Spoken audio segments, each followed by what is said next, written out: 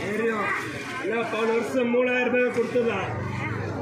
போன வருஷம் கஞ்சி போட்டு மூணாயிரம் ரூபாய் கொடுத்ததா அப்பே வியாபாரம் இல்லையா ఏంది